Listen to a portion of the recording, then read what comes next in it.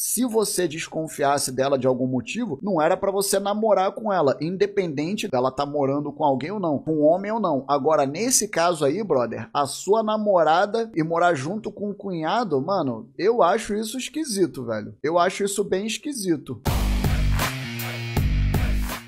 tem um caso com uma Juliana e ela mora com a irmã. A irmã chamou o namorado para morar junto. Cada um pode morar com quem quiser. Continua. Agora, no caso, se fosse sua namorada morar junto com o cunhado, é red flag? Mulher aceitar morar com outro homem no mesmo teto ou paranoia? Cara, olha só, brother. O que eu penso a respeito disso daí é o seguinte: para você se relacionar com uma mulher, você tem que ter bons motivos para isso, tá ligado? Você tem que poder confiar nela. Agora, confiar no seguinte sentido: digamos que ela mora com a irmã, como você falou ela mora com a irmã, o namorado da irmã vai morar junto. Aí eu não, não vejo problema, tá ligado? Até porque se você desconfiasse dela de algum motivo, não era para você namorar com ela, independente dela tá morando com alguém ou não, com um homem ou não. Agora, nesse caso aí, brother, a sua namorada e morar junto com o cunhado, mano, eu acho isso esquisito, velho. Eu acho isso bem esquisito. Assim, no primeiro caso que você falou, ela mora com a irmã. E aí a irmã chamou o namorado dela pra morar junto, beleza. Tá lá ela numa boa no quarto, a irmã no outro quarto com o namorado, brother. A não sei que essa Juliana aí seja tão.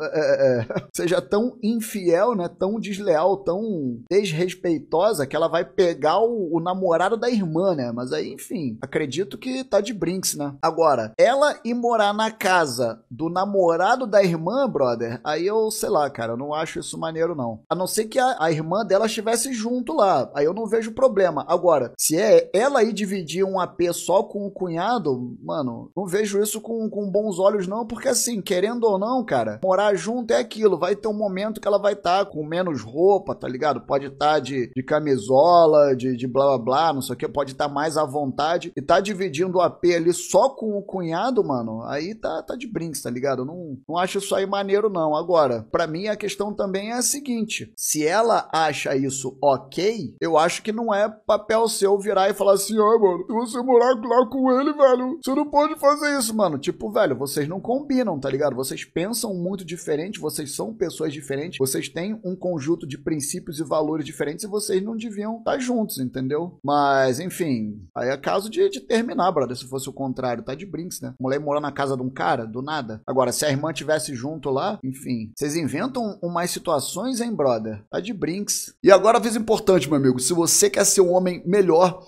você precisa baixar meu e-book grátis, porque nesse book eu vou te dar algumas dicas avançadas de como melhorar sua atitude, a sua autoestima e você se tornar aquele homem que você nasceu para ser, beleza? Agora eu quero saber o que, que você achou desse vídeo, qual a sua opinião sobre essa história. Deixe seu comentário aqui embaixo porque o seu feedback é muito importante para mim, beleza? Se você ainda não é inscrito no meu canal, aproveita para se inscrever para você continuar acompanhando meus vídeos. E se você ainda não baixou meu e-book grátis, o link está aparecendo aqui, beleza?